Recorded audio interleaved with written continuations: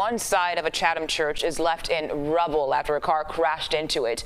Bricks are now scattered around outside the Heart of the Lamb Outreach Ministries near 79th and Prairie.